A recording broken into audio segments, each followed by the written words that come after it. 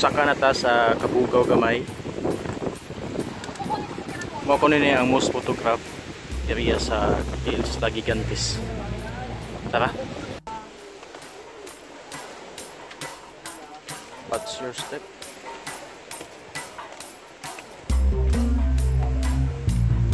Mga naglinya ni sila.